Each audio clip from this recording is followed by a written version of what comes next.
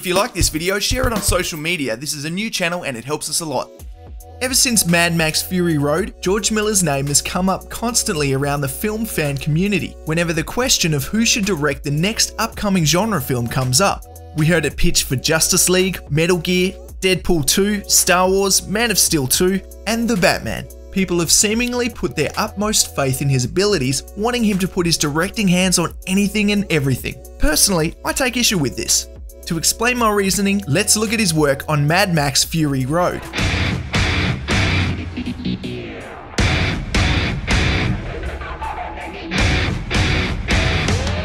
In my opinion, it's one of the best and most beautiful action films, period. The movie had interesting and fun characters and awesome visual style, and the world building was extremely strong.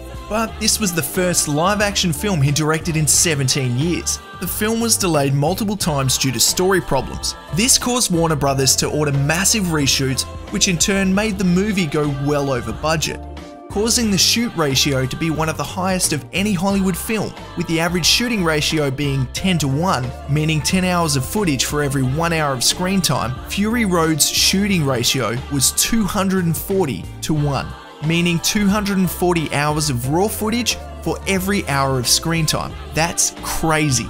To me, this makes Fury Road seem less expertly crafted and more like someone shooting as much as possible and finding the movie in the editing room.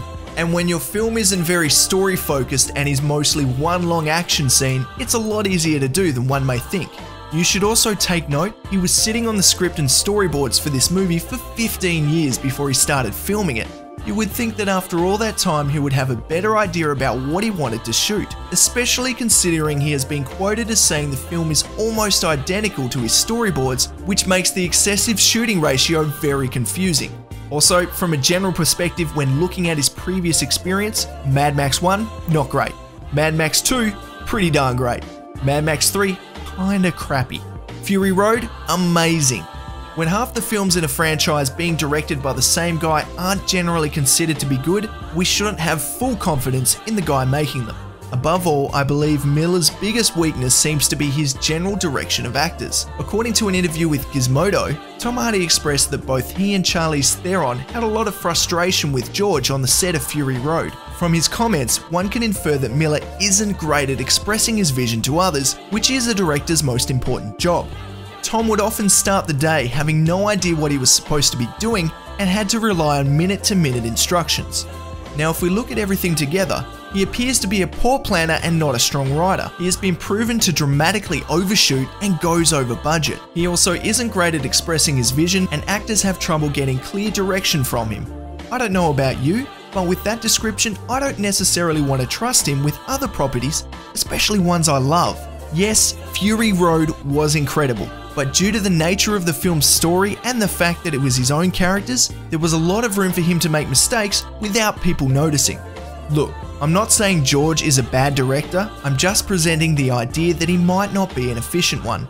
After all, Fury Road was profitable and well loved, and George wants to make more, but we still haven't heard anything official about a sequel. My guess is that Warner Brothers want him to produce it and not direct or write it, so it can be made responsibly, which has caused a stalemate.